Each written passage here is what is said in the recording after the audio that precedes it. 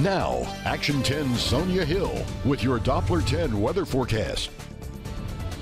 Howdy, South Texas. Happy Monday to you all. So it's pretty hard to believe, as I was telling Andy before the break, our latest front arrived just earlier today, and behind it, we're seeing some really spectacular conditions. But despite this, the highs for today still extremely warm. Most of us were in the upper 80s to low 90s. Here in Corpus Christi, 86 degrees was our high, 87 in Ingleside, 90 in Kingsville, and 88 degrees in Falfurrias. But right now in downtown Corpus Christi, we're seeing the, the cloud coverage beginning to diminish. We're seeing partly cloudy skies. The current temperature temperature of 86 degrees, humidity very low at this hour, and winds are light blowing out the north. Let's go and take a live look at shoreline, and it is beautiful out there. If only this weather had been here a week earlier, huh?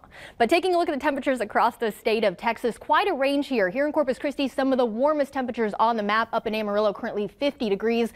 Warm in Austin as well, 81, 67 in Abilene, and 65 degrees out west in El Paso. But looking ahead at tonight, thanks to the front that arrived earlier today, we can expect to see some cooler overnight lows tonight. Expect mostly clear skies and cool temperatures. We'll see a low of 53 degrees and the winds tonight will remain very light out of the north northwest only up to about 10 miles per hour. But tomorrow we're going to see the wind speeds increase a little bit, but despite that, still a beautiful day, clear skies and low humidity expected for our Tuesday. A high of only 78 degrees tomorrow, and the winds will be picking up, blowing out the north northeast up to about 20 miles per hour. Well, now it's time for your seven day forecast brought to you by Auto Nation. Auto Nation has a huge haul of trucks and SUVs all on sale right now. Visit their website. It's autonation.com.